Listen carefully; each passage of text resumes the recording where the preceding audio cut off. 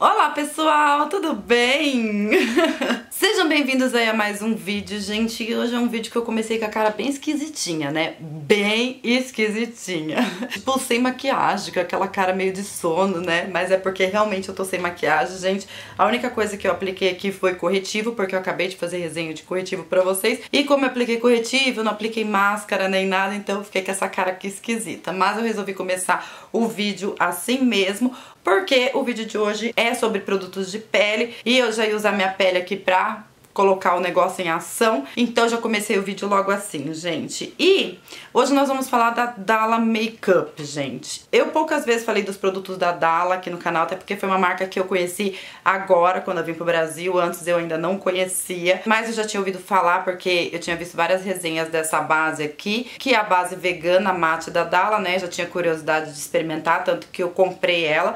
E aí depois a Dalla fez vários outros lançamentos, entre ele, os dois produtinhos aqui que são os pigmentos clareador e escurecedor de base, que é a minha cor perfeita da Dalla. E aí vocês pediram bastante para eu poder explicar mais o porquê que não funcionou para mim. Então eu vou começar por esses dois produtinhos fazendo a explicação e aí depois eu falo um pouco mais dos outros dois produtinhos, tá? Quando eu vi a primeira vez que eu recebi os meus na feira que teve da CNB, eu fiquei, uau, que maravilhoso, porque quem nunca comprou tom de base errado aqui, né, gente?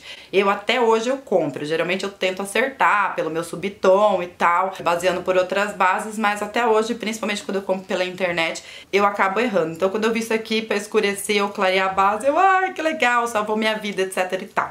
Eu vou começar aqui pela cor escura, vou colocar uma gotinha aqui pra vocês verem, na câmera acho que tá nítido vocês verem que o fundo dele é mais amarelado, qualquer base que eu misture aqui, mesmo que ela também seja amarelada, ela fica com o fundo rosado, tá? Eu vou usar aqui como exemplo a própria base da Dalla Makeup, que essa daqui é a cor 3, e pra mim deveria ser a cor 4. Eu vou colocar aqui, ó, uma gotinha dela na minha mão, só pra vocês verem que ela fica realmente um tonzinho mais claro pra tonalidade da minha pele. E por ela ser mate e ser característico das bases mates, dar aquela estouradinha básica no flash, se eu uso uma tonalidade mais clara e ainda refletir na luz, eu vou sair fantasminha em qualquer foto, né, gente? Então, como ela tá um tonzinho, um tonzinho só mais claro que a cor da minha pele, eu vou colocar aqui, ó, duas gotinhas dela, olha um tantão de base para uma gotinha de produto, porque eu preciso escurecer somente um tom dessa base, tá? E aí vou fazer a misturinha aqui pra escurecer ela um pouquinho. Essa base da Dalla, gente, ela tem um fundinho mais amareladinho, não é tão amarela, tem bases que são mais amareladinhas, o subtom. Aquela gotinha que eu coloquei ali foi perfeita pra deixar a base com um tom mais parecido que a tonalidade da minha pele, tá? E aí eu já vou fazer a aplicação já dessa mesma base desse lado aqui do rosto. Pronto, gente, eu apliquei a base só nessa metade aqui do rosto, tá? E eu vou diminuir aqui um pouquinho a luz pra ficar mais fácil de vocês enxergarem. Eu tô esperando a base secar aqui um pouquinho, mas acho que aqui na testa dá pra ver melhor. Olha como o meu subtom ele é amarelado. Eu sou uma pessoa amarela. E olha como desse lado de cá eu já fiquei mais rosada, com um subtom rosado. Tanto que se eu aumentar aqui a luz, olha, vocês vão enxergar meu rosto cinza. Eu, pelo menos no retorno ali, estou me vendo completamente cinza aqui em cima e completamente rosa ali embaixo. Se eu me olhar no espelho pessoalmente, eu não vejo tanta diferença do que o que eu tô vendo aí no retorno, sabe? Mas no retorno tá acontecendo por causa da luz que tá refletindo no meu rosto. Eu coloquei aqui na plaquinha só pra vocês verem a diferença, tá? Essa daqui é uma gotinha da base da Dalla, a mesma que eu usei no rosto, só que sem o pigmento de escurecer. E essa daqui foi a misturinha que eu fiz para poder aplicar no meu rosto. Então, aqui na própria plaquinha, vocês conseguem ver a diferença do quanto ela cinzenta, tá? Mesmo os dois pigmentos sendo amarelo. Daqui a pouco eu explico um pouquinho mais sobre isso para vocês. Eu vou primeiro fazer aqui a cobertura do outro lado, só que com a base mais clara. Dessa vez eu vou fazer o contrário. Eu vou pegar uma base mais escura e eu vou pegar, gente, a minha própria base da Estée Lauder, que é uma base que eu amo muito, mas ultimamente não parece aí no vídeo, gente, mas eu ando muito mais branca do que eu costumo ser.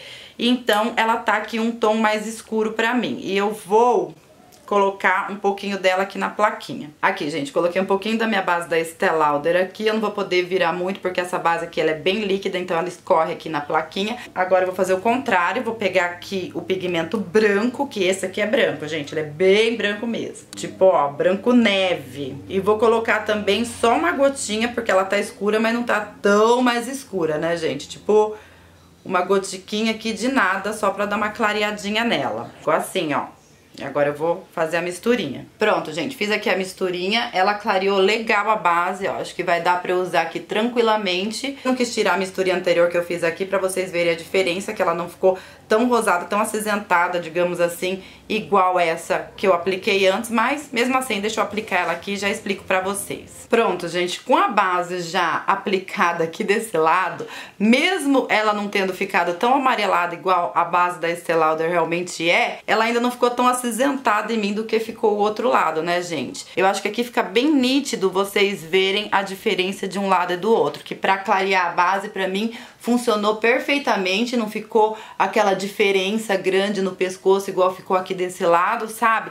Mas dá pra ver que esse lado eu continuo amarelinha e esse lado aqui eu estou cinza, gente. Isso tudo acontece porque, gente, eu não sou química, tá? Mas o que a gente aprende aí em maquiagem é um pouco de colorimetria, mas é um pouco do conceito que eu expliquei pra vocês antes, que se você misturar o branco com o preto, vira cinza e pronto. E quando você vai clarear uma base, ou quando você vai escurecer uma base, tem ali uma escala de cores normal, que vai da cor mais clara até a mais escura, um lado das cores mais quentes, o outro lado das cores mais frias. E pra quem assistiu a aula de colorimetria que eu dei aqui no canal, vai entender que a nossa pele é marrom, desde o marrom mais claro até o marrom mais escuro, que o marrom é uma cor neutra, que ela é feita da mistura das três cores primárias, que é vermelho, azul e amarelo. Então, no pigmento da nossa pele, a gente encontra aqui melanina vermelha, melanina azul e melanina amarela, entendeu? Quando você tem o subtom mais amarelado, que é o meu caso, a melanina, que é o pigmento da minha pele, a pigmentação natural dela, que predomina aqui, apesar de ter as três cores, é a amarela. E para quem tem peles negras, o pigmento natural da pele que predomina é a cor azul. Aí dependendo do subtom da pele da pessoa, pode ser mais o azul e o vermelho do que o amarelo, ou pode ser mais o azul depois o vermelho, que aí o fundo da pessoa fica mais acinzentado, entendeu? Mas o que vai diferir o subtom da pele é a quantidade de, de pigmentos que tem dessas três cores aí que a gente se mistura para formar o marrom, certo? Então uma vez que você já tem uma base com subtom amarelo, amarelado. Se você tá colocando um outro produtinho aqui nela que não tem uma quantidade de pigmento compatível com o pigmento da tua pele, você pode misturar com qualquer base que for, porque o pigmento que vai predominar no produto que você está misturando é o que tem maior quantidade aqui e o que tem maior quantidade aqui aqui, o branco aqui não tem cor, né? É só branco mesmo, ele realmente só vai servir pra clarear. No entanto, gente, a probabilidade se eu clarear muito uma base, ou seja, se eu usar muito esse produtinho aqui numa base qualquer minha, a probabilidade de eu tirar uma foto aqui e a minha base que nem estourava no flash ficar com aquele fundo branco é bem grande, entendeu? Então, por conta dos pigmentos que são usados em cada base para deixar ela com o subtom certinho da nossa pele, por conta do subtom da nossa pele também, é que essa misturinha pode não funcionar. Pode ver que a escura, gente, não deu muito certo pra mim, me deixou com a pele acinzentada. Por quê? Porque eu tenho a pele mais clara. Porém, vai testar o branco numa pele negra. Com certeza esse daqui vai deixar a pele negra cinza, entendeu? Com certeza. Isso porque como a pele negra tem mais melanina azul, uma vez que você colocar o branco numa base muito escura, o branco vai refletir, por menor que seja a quantidade, ele vai refletir bastante quando for misturada com uma base mais escura e quando você aplicar em cima da pele negra, o fundo branco vai aparecer e o fundo da pele negra vai ficar cinza e se tirar foto vai ficar tufe com o branco refletindo e vai estourar no flash também. Então, ao contrário do que aconteceu comigo, que tenho a pele clara, que foi no caso esse aqui que acinzentou, porque deixou mais escuro, e o cinza dele predominou, na pele negra esse daqui é o que vai predominar, entendeu? Então, sem dúvida, precisaria de um amarelo aqui para equilibrar isso aí. É um produtinho útil, mas para ele realmente funcionar, tinha que existir um igualzinho esse, mas que fosse totalmente amarelo. Porque como ele acinzenta a base, ele deixa a base com um tom mais frio, a gente precisa o quê? De mais melanina amarela para deixar com um subtom mais parecido com o subtom da nossa pele, entendeu? Então só um pigmento assim escuro para escurecer a nossa base não é o suficiente para deixar ela com o subtom amarelado, que é o que a gente precisa quando a nossa pele tem esse subtom mais amarelo, entendeu?